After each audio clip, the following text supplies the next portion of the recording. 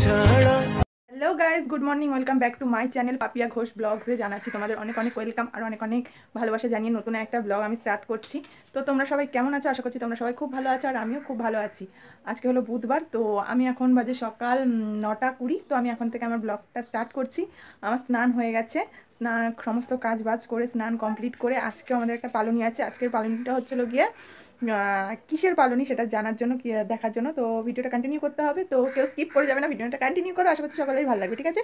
তো চলো, কী কী করছি আজকে সারাদিনে তোমাদের সাথে সবটাই শেয়ার করব।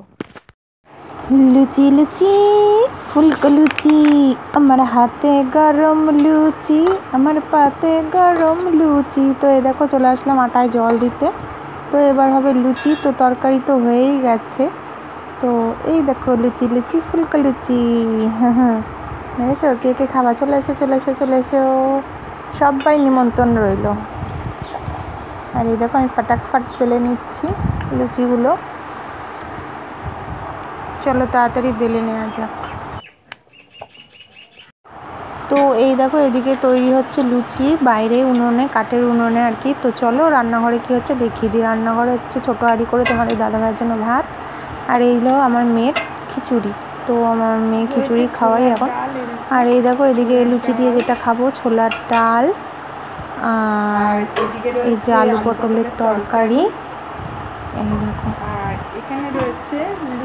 আর এই দেখো, এদিকে হয়ে গেল লুচি। টেন টেন পুরোই ম্যাজিক তো যত যাই বলো না কেন, বাঙালির যতই ভালো মন্দ খেতে দাও তবু বাঙালি মাছ ভাতেই খুশি, এটা কিন্তু মানতেই হবে। মানে দু তিন দিন ভাত খাইনি, মনে হচ্ছে যেন কত বছর খাইনি জানো না তো। তো তো এই দেখো, ঘুম থেকে উঠে চলে আসলাম জামা কাপড় তুলতে। তো বাইরে জামা কাপড় রয়েছে, আমার মনে ছিল না, আমি গিয়ে ঘুমিয়ে পড়েছিলাম, এত পরিমাণ ঘুম পাচ্ছিল। তো যত যাই হোক মানে যাই হোক না কেন, তো বেশি বিকাল হয়নি, এখন বাজে সাড়ে তিনটে মতন হয়তো হবে কি, সাড়ে তিনটে কি চারটে মতো আমি ভাবলাম যে যাই, আগে গিয়ে জামা কাপড়গুলো তুলে নিই। তো জামা কাপড়গুলো তুল- নিলাম। তারপরে চলে আসলাম সোজা টান টান গোয়ালে। তো গোয়াল মুক্তটা করে নিচ্ছি তাড়াতাড়ি করে। কেন বলো তো, গোয়ালটা মুক্ত না করলে না না সন্ধ্যা মানে বেশি যদি বিকাল হয়ে যায় প্রচুর মশামাছি হয়। আর এই যে ভেজা ভেজা যে ভাবটা গরুদের শুতেও অসুবিধা হয়। তো আমরাও যেমন একটু ভালোভাবে আরামসে শুতে চাই, গরুদেরও তো ইচ্ছা হয়, তাই না বলো? যে ওরাও একটু আরামসে শোবে। তো সব, সবারই মানে ইচ্ছা করে। তো গরুরা জানো তো একটা কথা বলি তোমাদের সাথে, গরুরা যখন খুব মানে বদমাইশি করে ওরা তো অবলা জাত, একটু বদমাইশি করবে। তো তখন আমার হাজব্যান্ড মানে তোমাদের দাদা ভাই তো একটু মারে হয়তো একটা বাড়ি মারলো লাঠি দিয়ে বা হাত দিয়ে। তো আমি তখন খুব মানে ঝগড়া করি। আমি বলি, কি ঝগড়া করি বলতে? একটু বকি যে, তুমি ওকে মারছো কেন? ও তো আর কিছু বোঝে না, কেননা ও তো একটা অবলা জাত। ওর যদি সেই বুদ্ধিটাই থাকতো, ও তাহলে কি আর আজকে আর এরকম থাকতো বলো? তো সেরকমই একটা বিষয়। তো আমার মানে গরু, ছাগল যাই বলো না কেন, আমার প্রাণী জিনিসটা আমি খুবই ভালোবাসি। তো ওদেরকে কষ্ট দিতেও আমার ভালো লাগে না। পুষবো যখন ঠিকঠাকভাবে পুষবো, না পুষলে পুষবো না তাও ঠিক আছে, কিন্তু পুষলে পোষার মতন করে ভালোভাবেই পুষবো।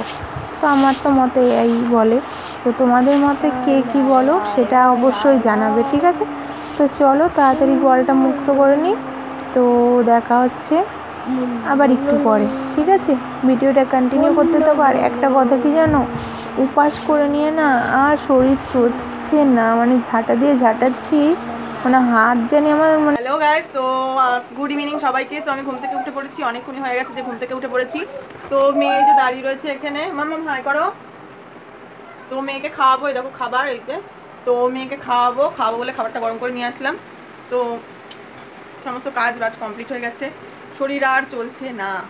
ধাক্কে ধাক্কে নিয়ে যাওয়া হচ্ছে, শরীর আর মানে বইছে না যে এটা করি, চোখ মানে শুধু এরকম ঢুলে ঢুলে আসছে, ঘুম পাচ্ছে প্রচণ্ড পরিমাণে এই দু তিন দিন না খাওয়াই, এমনি অটোমেটিক্যালি ঘুম পাবে। আর তোমাদেরকে বলছিলাম যে এটা কিসের, আমরা আজকে একটা পালনি করছি। এটা আমি কী কারণে করছি আমি বলছি তোমাদেরকে এই পালনিটা। একটু দাঁড়াও, এইটুকুনি দাঁড়াও, আমি একটুখানি মেয়েকে খাইনি খাইনি তারপর তোমার সাথে শেয়ার করছি যে এটা আজকে কিসের পালনি ওকে তো চলে আসলাম, মেয়েকে খাইয়ে দেয়নি, তোমাদের সামনে মেয়েকে খাওয়ানো কমপ্লিট হয়ে গেছে। আমিও সন্ধ্যাবেলা একটু ছোটো টিফিন করলাম।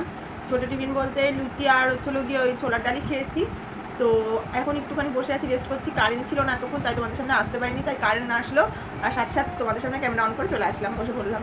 তো শরীর আর দিচ্ছে না যে আমার মানে ভেবেছিলাম কালকেই তোমাদের সাথে শেয়ার করব, তো দেখলাম যে না, একবারে শেয়ারটা করে রাখি ভিডিওটা কমপ্লিট করে রাখি।